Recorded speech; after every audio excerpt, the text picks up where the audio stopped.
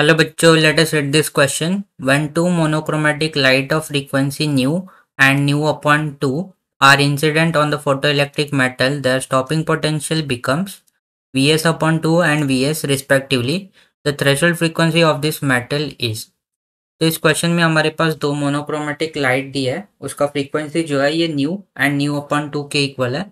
And stopping potential जो है वो V S upon two and V S के इक्वल है। तो हमें थ्रेशोल्ड फ्रीक्वेंसी निकालना है मेटल का। तो इस क्वेश्चन को सॉल्व करने के लिए जो की कॉन्सेप्ट हम लोग यूज़ करेंगे, वो होगा फ़ोटो इलेक्ट्रिक इफ़ेक्ट का।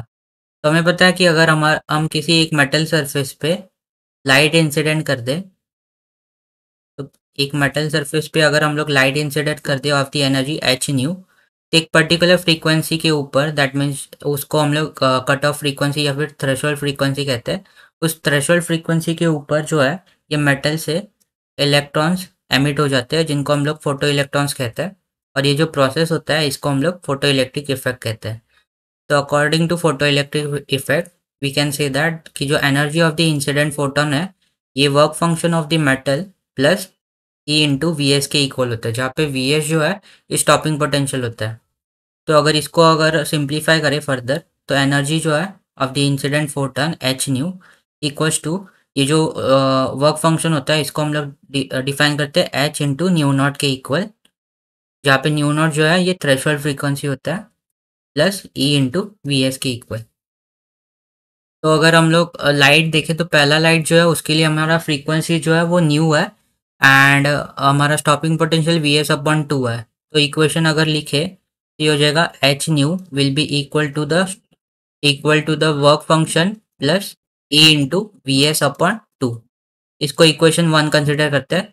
सिमिलरली हमारा जो सेकेंड जो लाइट है, उसका फ्रीक्वेंसी न्यू अपॉन टू है and stopping potential V S है। तो इक्वेशन हो जाएगा H nu upon two equals to the work function plus E V S तो ये हमारा दो इक्वेशन हो गए। तो अभी हम लोग क्या करते हैं? इक्वेशन वन में से इक्वेशन टू को माइनस करते हैं।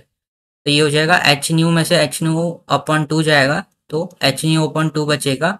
वर्क फ़ंक्शन कैंसिल हो जाएगा। E V S upon two minus E V S करेंगे तो यहाँ पे हमें minus of E V S upon two बचेगा।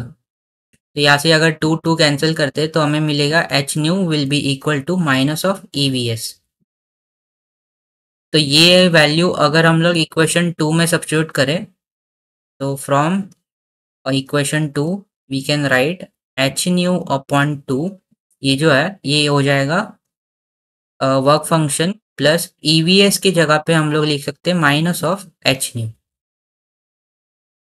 तो ये हो जाएगा, इसको अगर सिंप्लीफाई करें तो ये हो जाएगा h nu upon two plus h nu equals to the work function तो ये हो जाएगा three upon two h nu equals to the work function और हमें पता है वर्क फ़ंक्शन जो होता है, ये एच न्यू नॉट के इक्वल होता है। तो therefore H nu not ये जो है, ये हो जाएगा three upon two h nu के इक्वल तो एच कैंसिल हो जाएगा सो वी कैन से कि जो थ्रेशोल्ड फ्रीक्वेंसी आएगा फॉर द मेटल ये हो जाएगा थ्री अपॉन टू न्यू के इक्वल तो ये हमारा थ्रेशोल्ड फ्रीक्वेंसी हो जाएगा। तो अगर हम लोग ऑप्शन चेक करें तो ऑप्शन ए के साथ ये मैच कर रहा है। So I hope you have understood it well and best of luck